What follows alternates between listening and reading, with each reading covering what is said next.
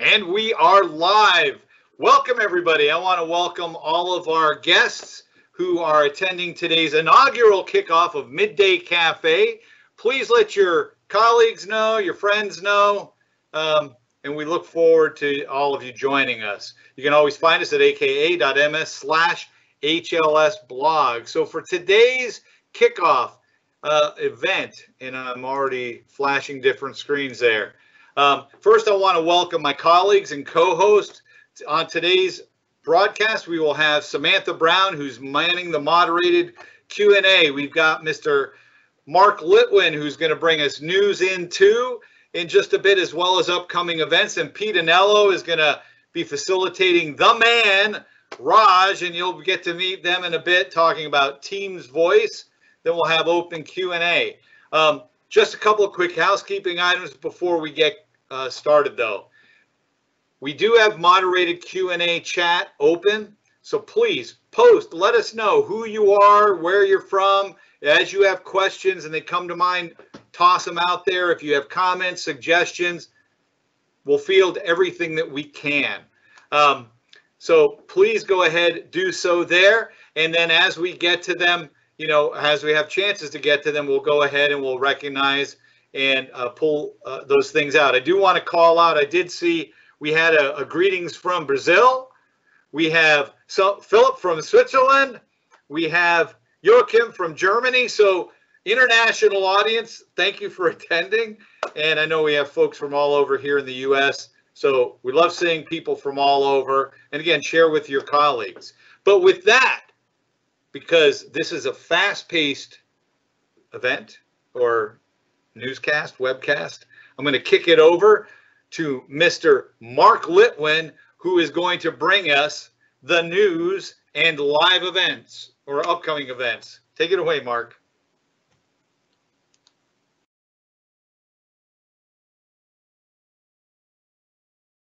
And Mark, you're on mute. Sorry about that. There you go.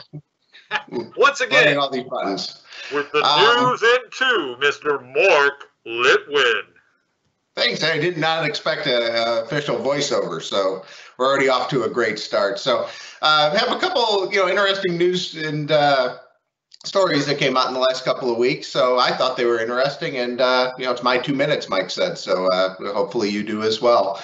Um, First one I have up on the screen here is uh, announcement came from from Dell. It was on The Verge and a couple other outlets picked it up, but thought it was was super interesting that um, uh, Dell's coming out with a monitor. It has a, a bunch of interesting features that have been kind of a, a, challenge since we've we've all moved to this work from home thing, and it, it really solves the the problem when you know, hey, we're we're all at home now and we have you know now cameras and microphones and headsets and they kind of built all that into a into a monitor and even put a little teams button on it.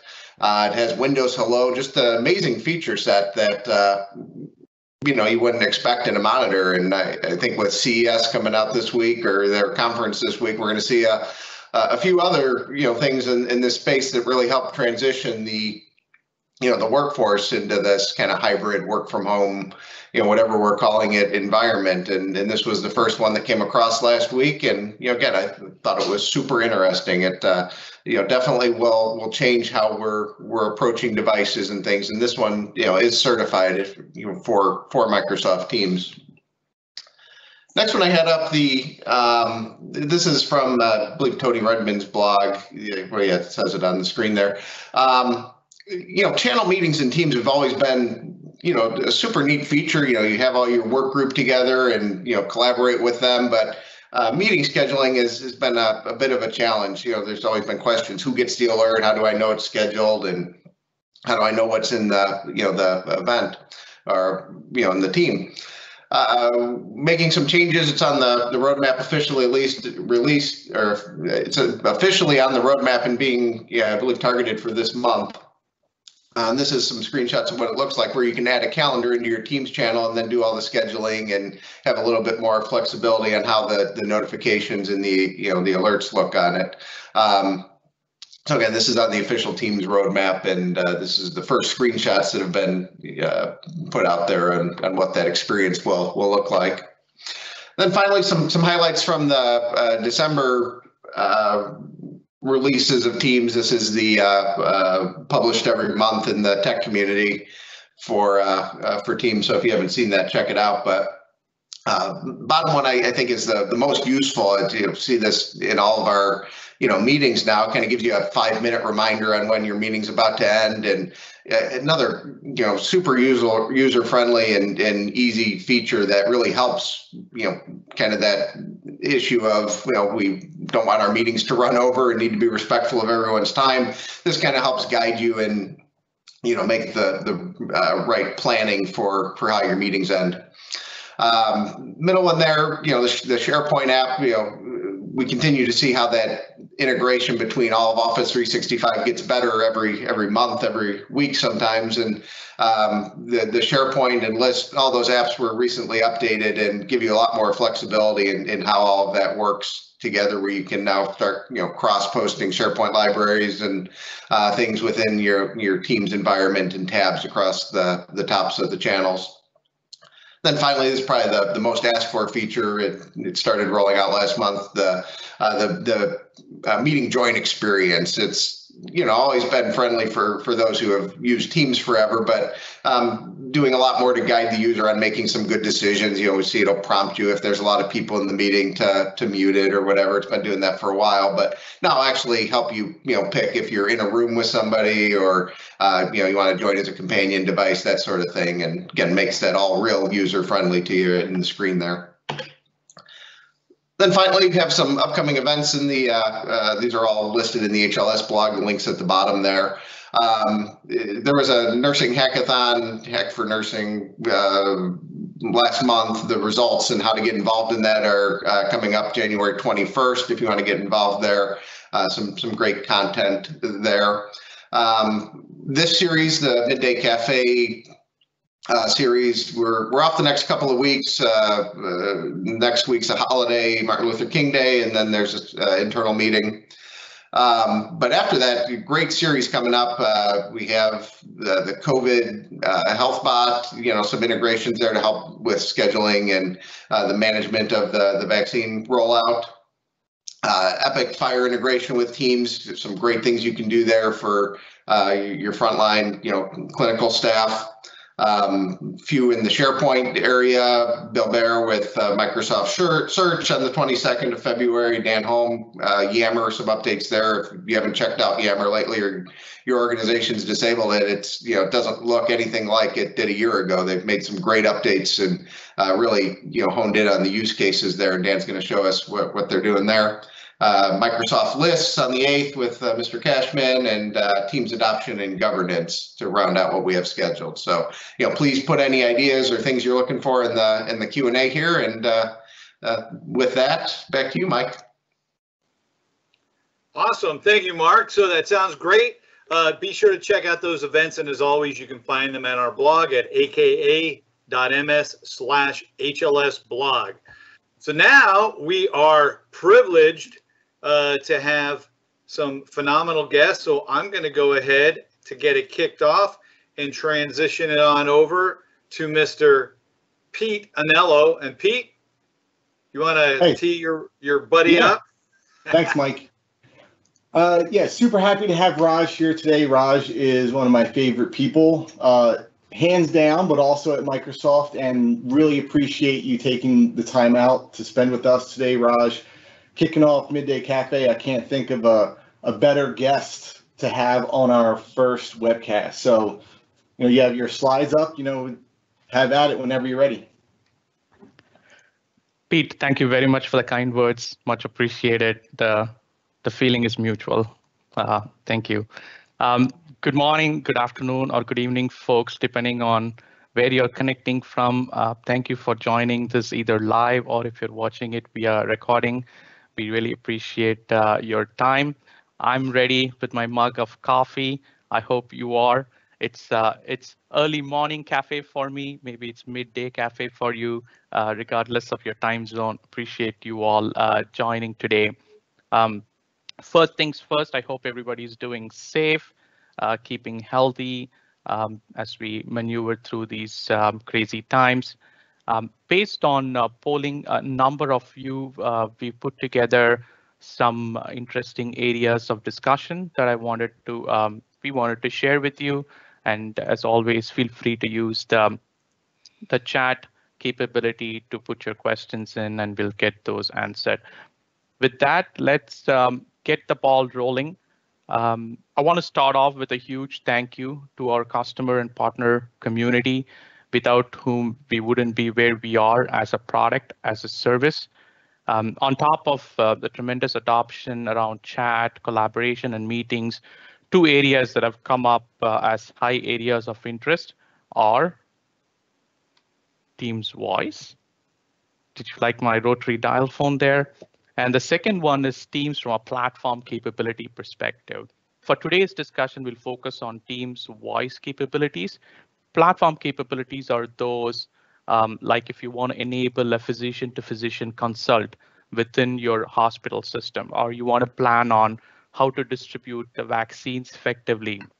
Um, those are what we can enable through um, integrated solutions, custom solutions that are built on top of Teams platform will you have some really good, interesting uh, presentations and presenters coming up. Don't miss the next one on February 1st. Nikita and Gregory will do a great job of walking you through the COVID COVID vaccination um, application that we've come together, uh, put together for you. All right, let's um, go into the content for today's discussion. As, as many of you may be aware of, Teams has uh, pretty rich voice capabilities built into it. And um, for those um, who are not familiar with the capabilities, we figured we'll give you a very, very quick level set on this. Um, there are two major components to uh, the voice solution built within uh, Microsoft Teams. One is the PBX or the call control functionality, right? That's the top half of the chart that you see. It's essentially giving you PBX capabilities in the cloud. Uh, and the second part is what you see on the bottom, which is the, the PSTN or the voice connectivity into your call control system. And we have a couple of options there uh, for you to consider. One is the native set of capabilities that Microsoft provides as a first party carrier. We call them calling plans. There are domestic calling plans and international calling plans, and it's available um, in many countries around the world, um, where we essentially have to become a registered telecommunications provider to provide those ser uh, services in your country. The second option is what we call um, via direct routing in Teams, where many of you, because of the heterogeneous nature of how voice deployments have come into being, maybe you've merged with another company, maybe you've acquired another company. The result is a lot of different PBX solutions are typically in place in, in uh, enterprise organizations like yourself. So chances are you probably already have a session management layer or a session border controller to aggregate all of those deployments um, into, into one place or a few different places. We can leverage your existing investments in both the SBC infrastructure that you may already have, and also leverage your existing connections with telephony providers around the world so you have the best possible um, connectivity in different parts of the world that you operate from. So um, those are the two major ways that Microsoft Teams phone system can connect with telephony providers, either in a native way or via direct routing using session border controllers. Uh, here's a quick uh, overview of the direct routing uh, architecture. I won't go into a lot of details in the short time that we have, but you can see where the session border controller, and we have a certified list of providers that you know have gone through our, uh, our rigorous test plans and whatnot, and works well with uh, with the Microsoft phone system you can choose one of those uh, many uh, certified um, session border controllers, connect your on-premises PSTN provider with the Microsoft phone system. And they provide a wide range of capabilities, uh, voice apps, um, support for analog devices, interoperability into third-party PBX systems that you may already have. So a variety of capabilities that are provided uh, by the session border controllers, again, tested and certified to work with the Microsoft uh, Teams phone system. Um, this is the piece of uh, presentation where we got a lot of feedback from when we uh, polled you, a number of you, and said what are the areas of interest you want to um, cover or talk about during these uh, presentations. And um, the overwhelming response was to know what's coming soon, right? What kind of new capabilities are coming to, to the team's phone system or calling related capabilities. So in the next few minutes, let's um, take a quick walk through some of the top items that are coming up. This half of the calendar year, some may come sooner in the first quarter, others may come in the second quarter, but generally in the first half of this calendar year. First one, multiple number dialing. Uh, many of you may may have experienced this or would want this for yourself where wherein your global address list within the organizational directory may have more than one number listed for a particular individual. Maybe their work number and their um, mobile number is listed. Um, so you want to be able to choose which number you want to um, call this particular individual at. So multiple number dialing essentially allows you to do that uh, within the contact card options or the chat header for the particular user, you will see a listing of multiple numbers if they are available in the global address list for easy choice of which number you want to call this user at. Um, the second one we'll talk about is live captions for one-on-one -on -one calls. And this uh, is actually pretty handy now more than ever before because we're all working from home. There are shared workspaces. Sometimes you may be in a in a noisy environment. Like for example, my kids walk into my office room all the time and ask me a question about their math class and whatnot. So it's good to uh, have a way for uh, for you as a user to follow along what's being um, discussed in a call. You've probably seen this uh, in action in a meeting. If not, I would highly encourage you to do that. Um, otherwise, uh, we're basically bringing the same capability of live captions that you see in meetings into one-on-one calls so you have a way for uh, following along. It also helps address a lot of accessibility requirements within large organizations um, to provide a way uh, to be inclusive and, and um, uh, help reach a broader audience. Uh, continuing uh, along, call merge is also something we've heard from you as um, an important capability as a core uh, voice functionality that's available in um, in PBX systems today. Um, it's very self-explanatory. If you're already on a call, let's say Pete and I are talking, and Mike calls me, uh, I would want to merge the two calls together so we have a group call uh, as a result of that. Pretty straightforward capability and, and helps maneuver through a lot of those um, everyday calling scenarios. Let's then talk about uh, session border controller certification. There's a long list of SBC providers uh, and partners that we work closely with to give you the best possible direct routing um, experience with Teams phone system. The, the most recent one to, to be added to that list is uh, Ericsson. We've completed the certification process and they are now part of our certified list of SBC providers uh, for direct routing solutions. On the learn more uh, link here, you will find out more information about all of our partners who have been certified and tested uh, and allow us to provide this great experience to our customers. Last on this slide, we got some more to go, is being able to transfer calls, one-on-one -on -one calls between desktop and mobile. Uh, again, it's a, it's one of the most popular capabilities from a meetings perspective, as we've heard from our user community. If you have not tried that, I, I encourage you to, to do that. Um, we are bringing the same capability to one-on-one -on -one calls too. Again, the, the work from home example is perfect for this. Uh, I may be away from my uh, desk, you know, begin to take a call on my mobile device, and then I want to come in front of my um, computer or, or, or, or my work desk and want to transfer that call without losing um, the, the connection. So this allows you to, to transfer a call between devices. It's pretty slick. Um, uh, small things can go a long way in terms of productivity. This is one such capability. This is a big one. Um, a number of you um, in a hospital system, for example, or have remote sites that need to be survivable from a telephony perspective have asked us to provide uh, survivable branch solutions where in the event of a, a WAN outage, those sites are still able to make and receive PSTN calls um, despite the, the lack of internet connection or, or a WAN outage, right? So uh, that's what Survivable Branch Appliance does. Uh, if you're familiar with what we provided in the Skype for Business world, this should be uh, very similar along those lines. A um, couple of screenshots here to give you a sense for what that um, looks like, um, where in the, again, in the event of a, a network uh, issue or your WAN going down, we allow those branch sites to be able to make and receive PSTN calls.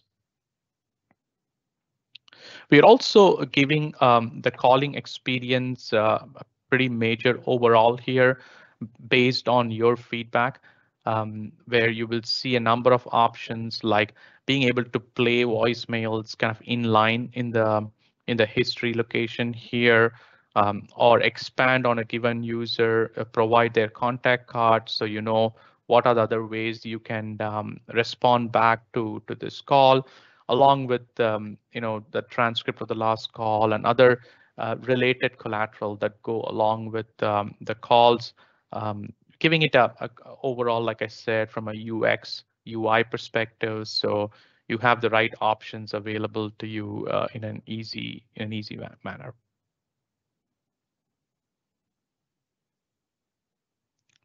I'm pretty excited about this one because uh, collaborative calling is, is where we are taking a pretty traditional workload like voice and call queues, but putting it in the context of what Teams can offer, right? Teams, as you all know, is, is the hub for collaboration. It's where people come, teams come um, to, to discuss, collaborate, work together, and solve uh, problems. So this brings the best of both worlds together, right? Teams calling and Teams collaborative capabilities in one place where you can set up a call queue. Maybe it's for your sales team, or maybe it's um, it's IT support uh, help desk solution within a, a business group.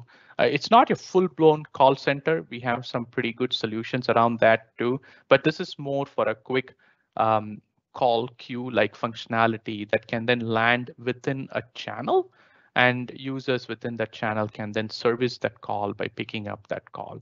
Um, a pretty nifty way of uh, being able to handle some of those um, call queue like um, capabilities and requirements using a combination of Teams calling and collaboration aspects within Teams.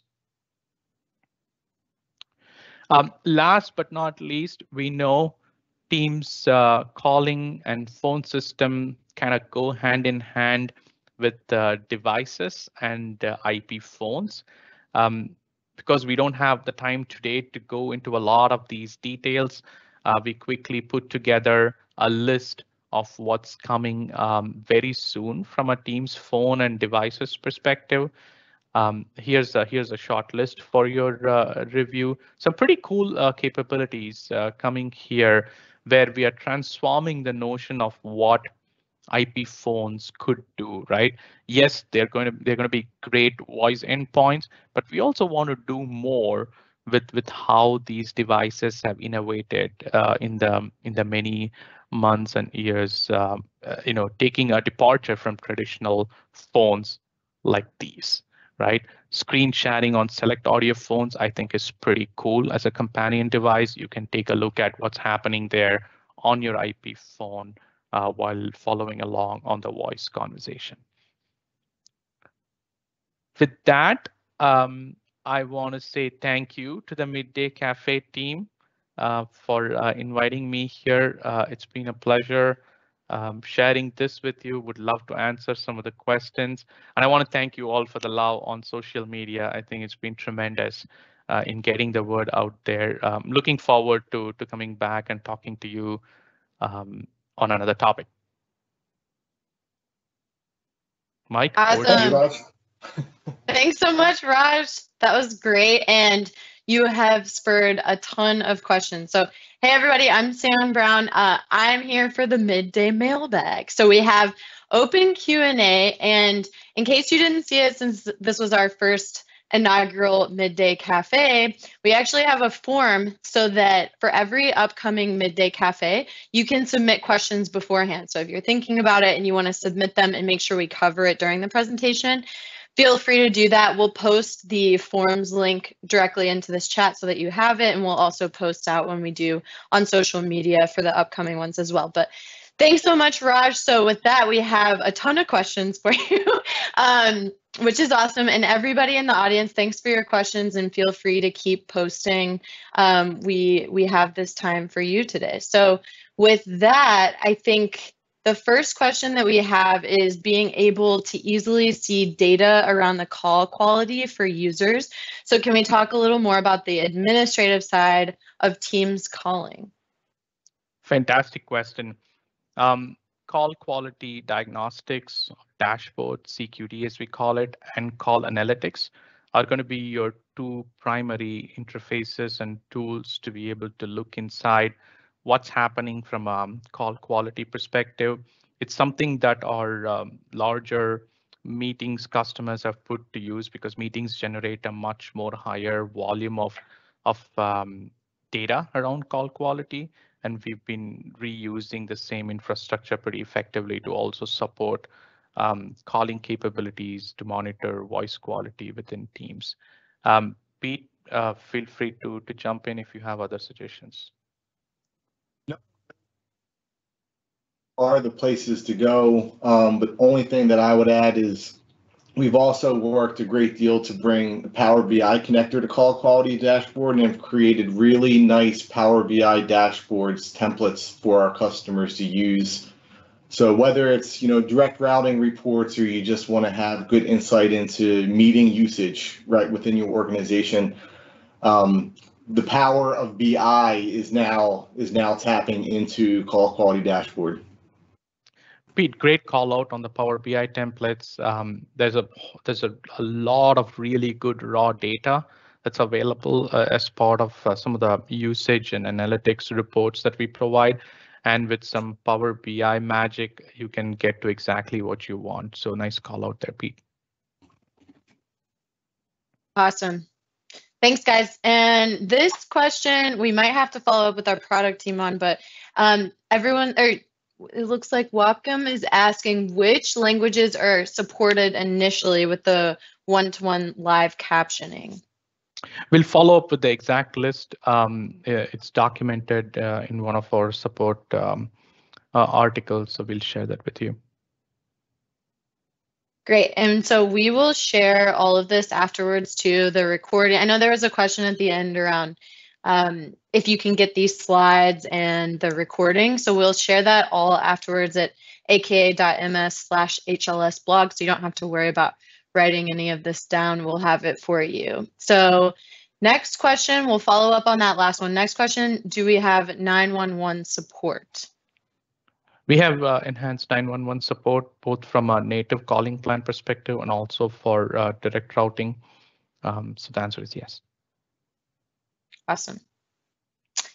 And let's see. So anonymous question on calling plan. So they're asking about forwarding unassigned phone numbers. So example is forwarding a number for terminated users for six months without having to keep the user licensed. Are there any workarounds there?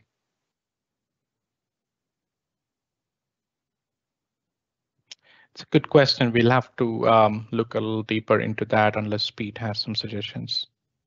I don't have any suggestions. I, I can't. I can't think of a way to maintain a user license um, without. I'm sorry, maintain a user number without the user license as well.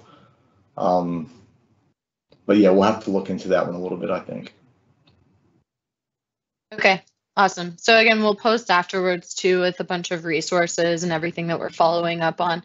Uh, so we have another question around contacts with mobile and the desk phone number. So will it be possible to set up a standard phone number that's always used when you call the contact? At the moment, um, it, they're saying I can't really control which number is used.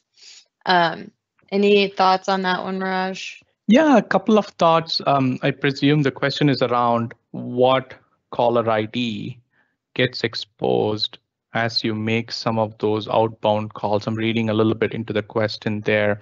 Mm-hmm. Um, if that is the case, um, there are caller ID policies both on the Teams Admin Center for calling capabilities. Um, the SBCs also have options to manage caller IDs in a direct routing setup. Um, so you can, um, in many ways, decide what the outbound identity looks like for those calls. And it comes up when um, maybe it's a group of uh, physicians belonging to a, a particular location or pharmacists from a specific location want to make outbound calls. They want that facility's calls, uh, phone number, excuse me, to be exposed as the outbound caller ID. So there are ways to to do that. Um, maybe there's more to this question, and we can certainly follow up with uh, with you on that. Great. Okay, next one is will there be an integration between Teams and Dynamics 365? Um, we, we are certainly working uh, very closely with Dynamics 365. I do not have the, the deep details top of mind. I know there is an active work stream around that. Um, it's also something that we should um, follow up with this audience. Okay, awesome. Last one, it looks like in the chat, which feel free to also add more questions. We're here for you. Um, last one is in the Teams admin portal under analytics and reports, there's a new option called call, call diagnostics. What exactly is this?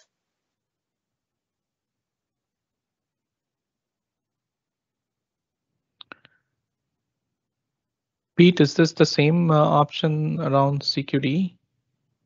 No, it's a new. It Doesn't look like a it. new report. It's a new report within the the the web UI for the admin portal. Um, you know, so it. I'm looking at it now. It's new. I honestly I don't know a lot about it, but it looks like you know deep packet inspection, limited UD, UDP, audio drivers, firewall issues.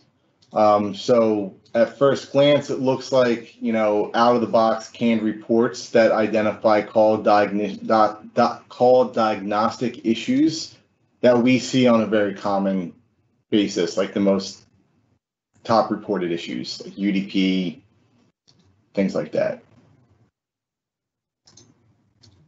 We'll find for some, uh, we'll look for some documentation around it and, and share it with this group. Yeah, perfect. Okay, so I think there is one more question coming in on SIP phones. So when third-party non-certified SIP phones will be able to register to Teams, um, especially for it looks like inbound calling. Yeah, go ahead, Raj. Sorry. It's a great question. We do have that in our plans for for this half. More details um, coming out on that pretty soon.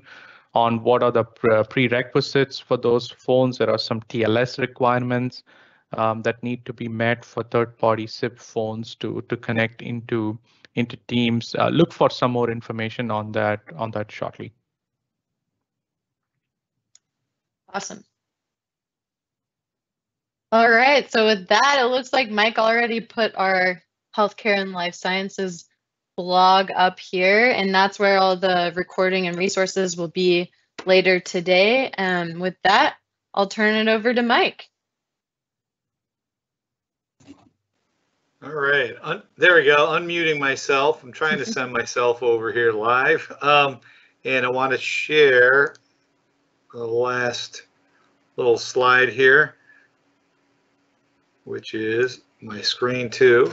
So we'll go ahead and pop that up.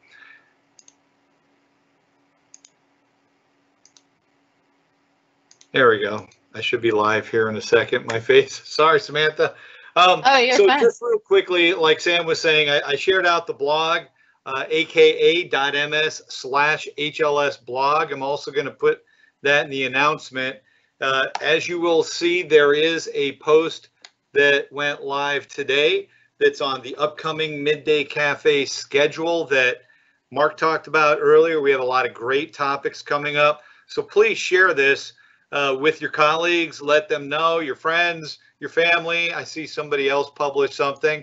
Um, we love incoming caller ID. Well, we're going to extend, it looks like QA in just a second. Uh, but let me just quickly, well, actually, let me stop because that is QA. So somebody posted something in there quickly um, at the end. And the question was, I don't know, Sam, you want to read that? Yeah, so it looks like incoming caller ID. So they're seeing calls without displaying a caller ID compared to the Cisco environment.